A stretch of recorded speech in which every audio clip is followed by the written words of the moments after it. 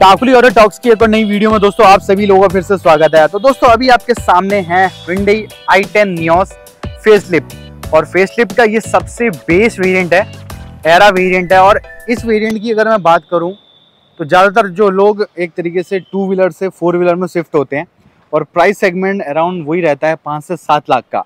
तो उस प्राइस पे ये आने वाली गाड़ी है। तो डिटेल में जानते हैं इसके बारे में। बेस वेरिएंट अगर आप कंसिडर करते हैं हुंडई का आई टेन न्यूज़ में। तो क्या क्या फीचर्स ये दिया जाता है? क्या पावर क्या टॉर्क इंटीरियर के फीचर्स क्या हैं? फिट एंड फिनिश कैसी आपको इसमें देखने को मिल रही है? वो सारा हम चेक करेंगे। तो फटाफट से बात करते हैं। सबसे पहले तो अगर मैं इसकी एक शोरूम की बात करूँ। एक शोरूम अगर आई टेन न्यूज़ का जो है बात करी जाए, इसकी लगभग लगभग जो है आपको एक शोरूम पाँच लाख अड़सठ हज़ार रुपये देखने को मिलेगी।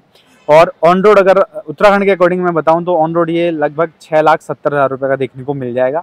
ऑन रोड प्राइसिंग थोड़ी वेरी करेंगी। उत्तराखंड के हिसाब से एग्जैक्ट क्या प्राइसिंग रहती है, वो जानना चाहते हैं तो नीचे नंबर दिए गए हैं। वहाँ से आप जो है पता कर सकते हैं। अब ये बेस वेरिएंट बहुत ही खास लग रहा है। देखिए, चाबी से ही, चाबी से खास बड़ा है। दो, एक सेंटर रिमोट लॉकिंग दे दे रही है यार कंपनी इसमें जो कि बहुत रेयरली देखा होगा आपने इस सेगमेंट की गाड़ियों में सेंटर लॉकिंग तो कंपनियाँ कई जो है मैन्युफैक्चर दे ही नहीं रहे हैं। तो यहाँ पर बहुत अच्छी चीज़ करी गई है। यहाँ पर एक रिमोट सेंटर लॉकिंग चाबी दे दी है, लॉक, अनलॉक का ऑप्शन है, फ्लिप की दे रखी है इसमें, और साथ ही साथ यहाँ से आप होल्ड करेंगे तो बूट भी जो है यहाँ से ओपन हो जाता है। तो ये फीचर्स इसमें जो है, आवाज़ भी आती है लॉक, अनलॉक करेंगे तो आवाज़ भी इसमें जो है आपको सुनने को मिलेगी। तो ये फीचर्स इसमें दे दिया जाता है। तो ये सही चीज़ करी गई है। तो अब ज़रा फ्रंट सेक्शन की ओर आते हैं। सबसे पहले जो चेंजेस हुए हैं इसमें चेंजेस ग्रिल में किया गया है, जो कि अब ग्रिल थोड़ा और इन्हेंस कर देती है डिज़ाइन को। फॉग अब आपको नहीं मिलेंगे इसमें। फॉग की जरा जगह आपको ऊपर वाले वेरिएंट्स में कुछ ऐसे डीआरएस दे दिए जाते हैं यहाँ पर, जो कि ऐसे शेप में रहेंगे। इस बेस वेरिएंट में नहीं रहते हैं। बाकी ये पोर्शन आपका पूरा ऐसा कुछ जो है ब्लैक कलर में देखने को मिलेगा। लाइटें इसकी बड़ी अग्रेसिव सी लगती हैं, अगर आप देखते हैं यहाँ से डिज़ाइन के हिसाब से। और में भी ऐसे ही डिज़ाइन की आती हैं लाइटें लोगो आप देखें तो लोगो एकदम फ्लैट कर दिया है। जैसे कि किया की गाड़ियों में आता है ना, वैसा ही एकदम एंड फिनिश में दे दिया, जो कि काफ़ी अच्छा जो है रिफ्लेक्ट सा कर रहा है। और यहाँ से तो ऐसा रहता है इसका फ्रंट का पूरा प्रोफ़ाइल ओवरऑल अगर मैं इसके विर्थ की ऑन डायमेंशन में, अगर ऑन फिगर्स में बात करूँ तो ओवरऑल विर्थ इसकी जो है, लगभग 1680 mm की रहती है। लेंथ वही 3815 mm की जो है आसपास रहेगी फोर मीटर से थोड़ा नीचे की जो है ये गाड़ी रहती है व्हील बेस भी अच्छा सही है 2450 mm का, साथ ही साथ हाइट भी इसकी 1520 mm की रहती है। अब साइड से आप देखते हैं तो साइड में फेंडर में यहाँ पर इंडिकेटर दिए, दिया जाता है आपको, जो कि यहाँ से, यहाँ पे रहेगा। और साथ ही साथ जो है यहाँ पे अपोलो के टायर आते हैं 165 70 आर 14 प्रोफ़ाइल रहती है स्टिल में आपको ऐसे सिल्वर कलर के मिलेंगे। फ्रंट में डिस्क ब्रेक रहेगी डिस्क ब्रेक रहेगी तो रियर में ड्रम ब्रेक रहती है। डोर हैंडल्स और ओ ये चीज़ आपको इसमें जो है इसकी पहचान एरा की, ये रहने वाली है, ये इसमें आपको मेट ब्लैक में देखने को मिल जाते हैं। वो आर आपको जो है मैनुअली एडजस्ट करने पड़ेंगे, फोल्ड भी मैनुअली आपको करने पड़ जाते हैं इसमें। जैसी जैसी आप जो है रियर सेक्शन की ओर जो है बढ़ते हैं तो यहाँ आपको जो है पेट्रोल टैंक की कैपेसिटी 37 लीटर के आसपास जो रहती है, वही देखने को मिल जाती है। जैसे आप पीछे आएँगे तो पीछे जो लाइटें हैं ना, वो इसमें जो है कनेक्टेड वाली करते रखी हैं तो कनेक्टेड वाली काफ़ी अच्छी लगती है, लेकिन जो जलती हैं, वो सिर्फ़ यही जलेंगी इसकी लाइटें। एक बार इंटीरियर से लाइटें और जो है जला के आपको मैं दिखा देता हूँ। लाइटें कुछ आपको ऐसी जलती हुई देखने को मिलेंगी। इसके जो है इंडिकेटर पीछे की जो स्टॉप लैम्प ये हेलोजन में ही है, और पीछे की जो आप देख रहे हैं ना बैक लैम्प और जो है स्टॉप लैम्प ये हेलोजन में ही मिलने वाली है आपको नॉर्मली तो ऐसा रहता है पूरा लाइटिंग सेटअप ऊपर वाले वेरिएंट में ये एज आ एल में आ जाएगी। फ्रंट से भी आपको दिखा देता हूँ साइड फेंडर पे आपको ऐसा नॉर्मली हेलोजन में बल्ब मिलेगा।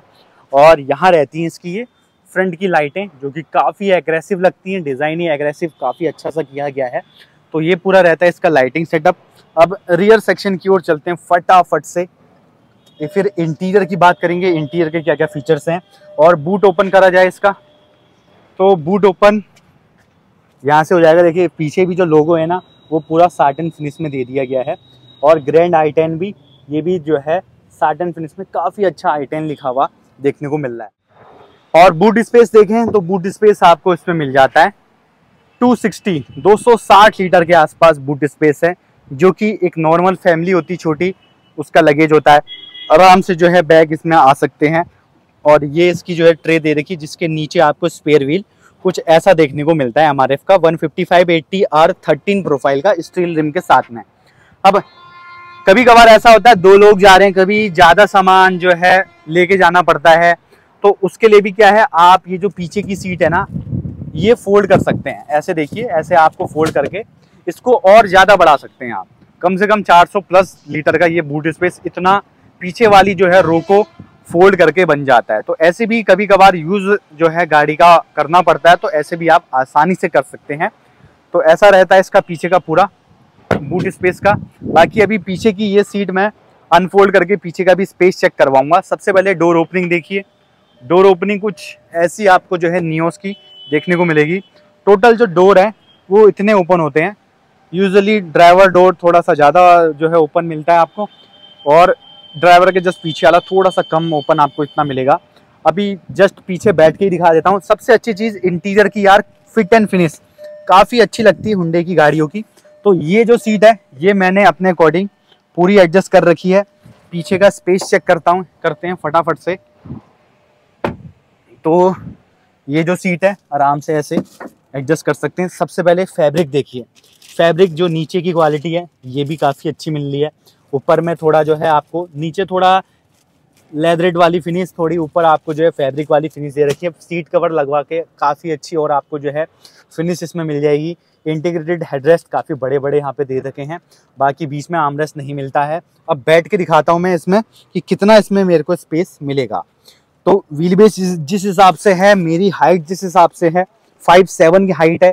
तो नी स्पेस देखें तो बहुत बच रहा है, क्योंकि यहाँ जो है थोड़ा सा अंदर को सीट चले जाती है यहाँ से। तो इसमें भी और आपको जो है गैप अच्छा मिल जाता है यहाँ पर। देखिए, अंदर थाई सपोर्ट फिर बात आती है तो यहाँ पर भी मेरे अकॉर्डिंग तो बहुत सही है यहाँ पे। बिल्कुल दिक्कत नहीं आएगी। अब हेडरूम की बात करूँ तो हेडरूम चेकआउट करिए, मेरी फाइव सेवन हाइट के अकॉर्डिंग तो इतना कुछ मेरे को हेडरूम मिल रहा है, जो कि एक हाथ से, एक हाथ के बराबर है पूरा पूरा तो ये भी बड़ी सही चीज़ लगी। ठीक है इसमें ये, एक सारी चीज़ें यहाँ पर स्पेस के हिसाब से भी बढ़िया गाड़ी है। और यहाँ पर जैसा कि देखो बेस वेरिएंट है तो कुछ तो आपको बेसिक चीज़ें मिलेंगी। पीछे की जो विंडो है, ये इसमें जो है, ऐसी नॉर्मल मैनुअल वाली दे रखी हैं। लेकिन फ्रंट की मैनुअल नहीं है यार। तो ये भी चीज़ बहुत कंपनियाँ जो है ना, चारों पावर विंडो मैनुअल कर देती हैं। लेकिन हुंडई ने ये चीज़ नहीं कर रखी है इसमें। काफ़ी सही लगा। बाकी थ्री पॉइंट सीट बेल्ट इसमें मिल जाते हैं। और आपको जो है साइड में मिलेंगे टू पॉइंट वाला बीच में दे रखा है। और साथ ही साथ चार एयरबैग्स बेस वेरिएंट से चार एयर एयरबैग्स आ रहे हैं इसमें। तो ये भी बहुत सही चीज़ कर रखी है कि सेफ्टी का भी अब जो है ध्यान काफ़ी अच्छा रखा गया है। बेस वेरिएंट से चारों पावर विंडो यहाँ पर नहीं है, लेकिन चार एयरबैग्स बेशक यहाँ पर दे दिए हैं। यहाँ पे देखिए, ये आपको जो है चारों पावर विंडो के कंट्रोल्स तो नहीं मिलते, दो पावर विंडो के कंट्रोल्स ड्राइवर साइड में आपको यहाँ पे मिल जाएँगे। स्पीकर की ग्रिल, बॉटल होल्डर यहाँ पर दे दिया जाता है। फ्रंट की सीट की जो है कुशनिंग भी काफ़ी अच्छी रहती है, लेकिन हाइट एडजस्टेबल सीट नहीं मिलेगी बेस वेरिएंट में। हाइट जो है, उसके बाद लाइट की जो बीम है, यहाँ से आप जो है एडजस्ट कर सकते हैं अपने अकॉर्डिंग।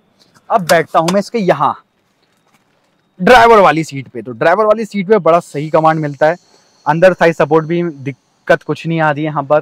डैशबोर्ड का व्यू देखें, सबसे बढ़िया चीज़, जो कि हर एक गाड़ी में चिल्ला चिल्ला के कहता हूँ मैं इंटीरियर देखिए लाइट कलर में कितना प्यारा लगता है लाइट कलर इंटीरियर जो कि ये इसमें दिया गया है, जो कि बहुत सही चीज़ लग रही है। एसी मैनुअली मिलेगा आपको इसमें।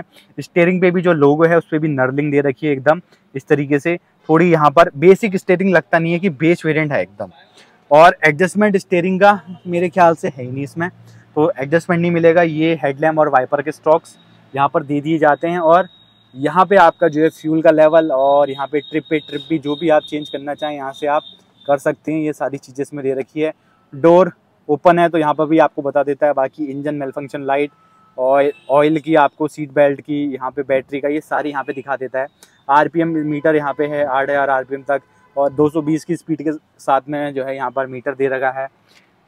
यहाँ पावर विंडो मिल जाती है फ्रंट की और हेजार्ड लाइट के स्विच यहाँ पे रहे। और फिट एंड फिनिश जो मैं कह रहा था ना, वो चीज़ यहाँ पर एकदम पता लगती है। फिट एंड फिनिश यहाँ पर डैशबोर्ड की क्वालिटी ये सही अच्छी लगेगी आपको प्लास्टिक की क्वालिटी भी अच्छी लगने वाली है।